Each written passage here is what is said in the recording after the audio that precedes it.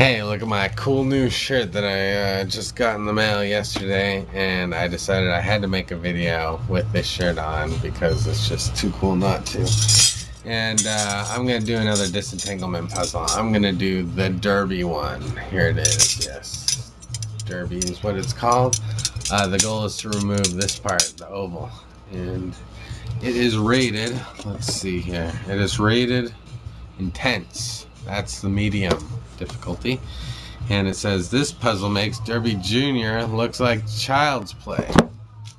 I don't have Derby Jr., but apparently it's nothing compared to Derby. Well, I'm here to tell you it drove me crazy, that's for sure. Um, very tricky. There's uh, definitely, uh, looking at the answer, they put in five steps.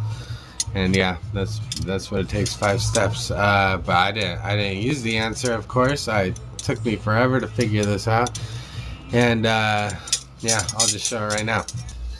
Alright, so let's solve this mother, shall we? Uh, we got the oval up top here, and uh, the first section is getting it to the bottom. And to do that requires uh, basically going around the center piece here, and it took me forever to figure that one out. So let's uh, so let's start. First thing to do is get this oval in this middle part here. You do that simply by moving it perpendicular and wrapping it around both edges like so. And then through the back you can just wiggle it around. And you got it right here. Then to get it down here I mean you try everything but the key is to go underneath this uh, ring. So work the oval underneath that ring like so. Like,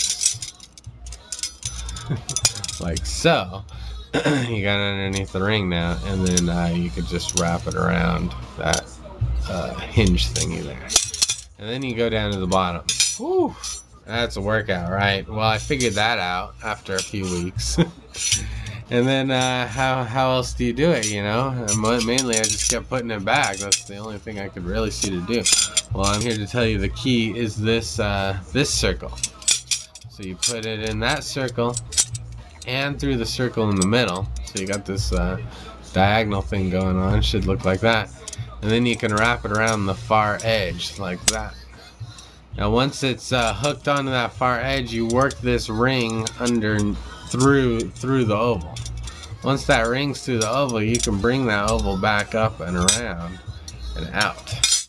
There. You have solved it! Ha ha ha! You have conquered the disentanglement puzzle. Derby. And you know what was even harder than that for me was getting it back.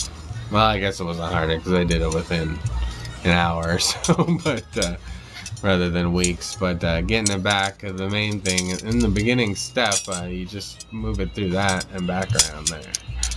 And then you just do everything backwards. Put it down there. It around there.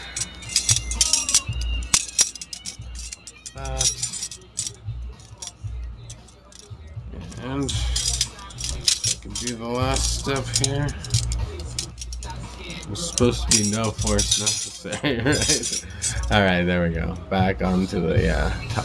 That's uh, beginning state of Derby. Back again. Okay. Sheesh, that was uh, that was a hard one. That was medium difficulty, but I thought I'd share it mainly to show off my cool new shirt and see how it looks on video.